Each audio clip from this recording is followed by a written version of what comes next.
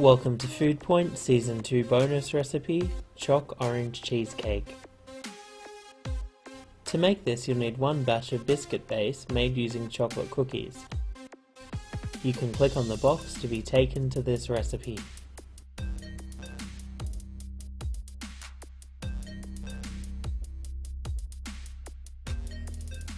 Next, you'll need 1 kilogram of soft cream cheese, divided evenly between two bowls.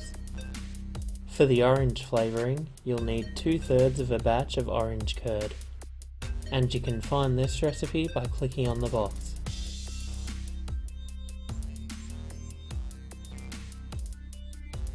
And finally, you'll need chocolate ganache. You can use any type you like, but I recommend either dark or milk chocolate.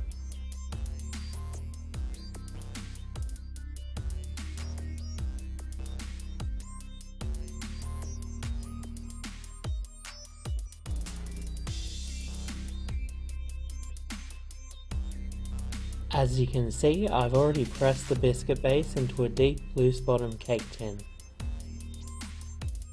Using an electric mixer, beat together the orange curd and half of the cream cheese.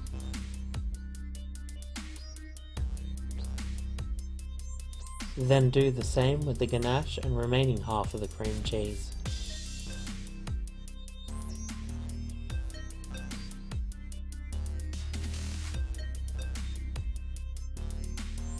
Spread half of the orange cream cheese mixture evenly over the base of the biscuit crumbs.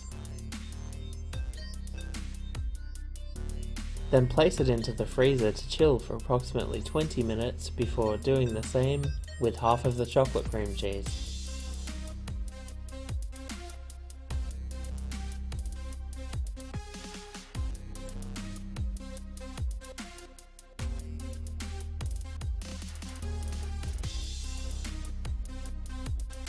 Repeat this with the remaining fillings.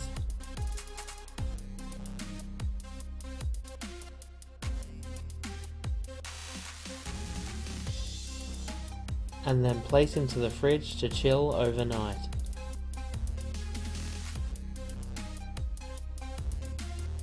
Allow it to sit out of the fridge for at least 20 minutes before removing from the tin and slicing.